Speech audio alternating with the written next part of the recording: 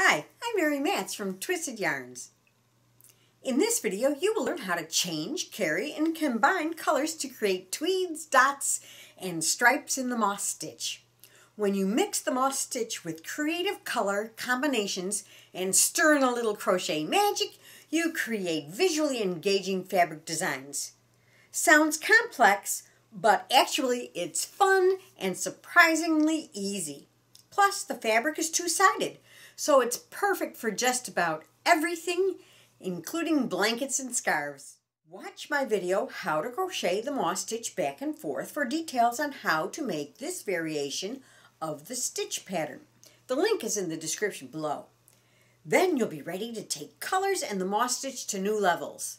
And you may just learn a crochet secret or two. Time to go color crazy! So now I'm going to show you how to do the color changes with three different colors and how to do it so that we carry the thread up the side of the uh, dishcloth or the piece, whatever you want it to be. And we're going to chain, we're going to start the same way as before. I'm going to chain 24 is I'm going to, in the second chain from the hook, I'm going to insert my hook under the upper loop and work one single crochet and a chain one. Skip one and single crochet into the next stitch. Chain one and then we're in the last stitch. Now this is important. I'm going to insert my hook into that last stitch and pull up the loop just like I was going to work a single crochet. But at this point, things change. And on this one, I'm going to add my next color, which is yellow. It could be any color, but I picked yellow. Okay, with this, I'm going to do two things. I'm going to take the old yarn end and wrap it around the hook and bring it to the front from the back to the front. So it's a, like so. Okay, I'm going to put my thumb on it and I'm going to fold over the end of this one to form a loop. And I'm going to put that on my hook and pull through all three loops. Now, obviously, that really isn't a loop and it can come undone, but to lock it into place, I'm going to chain one using both strands of my yarn. You see that? Now I'm ready to do the next row. So I'm going to turn my work, drop off my yarn tail, and in the, just like we did before, in the very first space, I'm going to work a single crochet and then a chain one. The next space, a single crochet, chain one. Okay, here I am. I'm in the last space. I do a single crochet and a chain one. But my row is not complete yet. I still have to go in to the very beginning or the, the end, which is the chain up at the beginning of the row and pull up a loop, just like I was going to do that stitch there for a single crochet take my ending yarn, bring it over my for the yarn that I'm going to be getting carrying and going on to the next color, bring it from the back to the front and hold it with my fingers.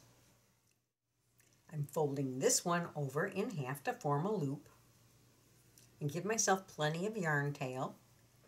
Put it on and I'm holding both ends of it and I'm pulling it through those three loops.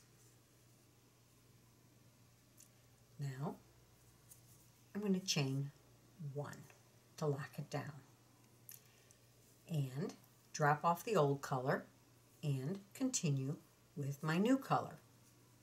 So in the first space I'm going to work a single crochet and see that extra loop, I'm going to just tug it up a little bit. Just a little bit, snug it up. And chain one.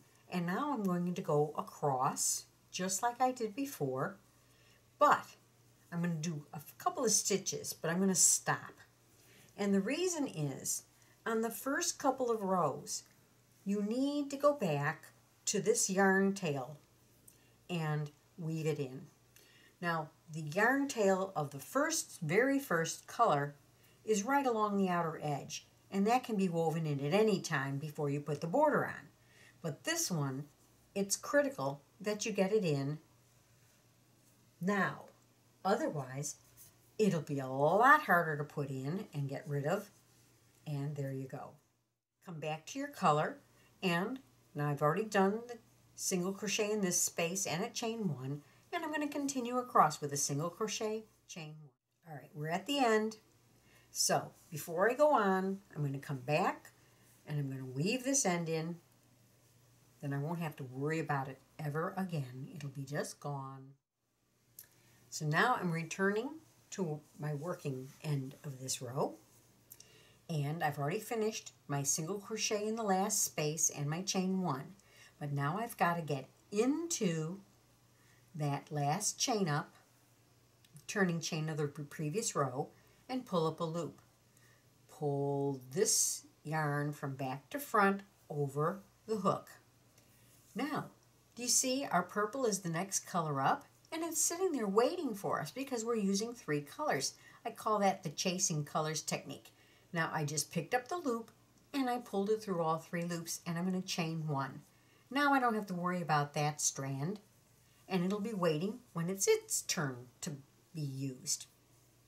So at this point I've done my chain one so I'm going to just work a single crochet into the next space. Chain one and continue across this row. Okay, I'm at the end of the row. I'm putting my single crochet in, chain one, and then into that end. And pull up a loop in the color that I'm dropping or carrying. Wrap it over the needle and hold it to the front. Pick up the new color, which is there waiting for me, and pull through a loop through all those loops on the hook and chain one. What you've done is you've neatly positioned that carrying yarn right on the edge. Okay, turn and continue. And you're going to repeat this until you have the number of rows that you want. In our tweed sample, see how nicely the colors are carried along the edge. It doesn't even require an edging, and it's two-sided. On our second tweed sample, we use white and turquoise for the first two colors and a coordinated variegated for the third. In this case, I used edging to accentuate the various shades of the turquoise and frame the piece. Creating the moss stitch dots uses the same technique as making the tweed with one exception. You will work with three balls of yarn and change the color after each row, but two of the balls will be the same color to make the background. A second contrasting color seems to peek through to create the dots, yet the finished fabric is two-sided. On this sample, the contrast is very dramatic, while on the second sample, the dots are crocheted with a variegated yarn that coordinates with the background.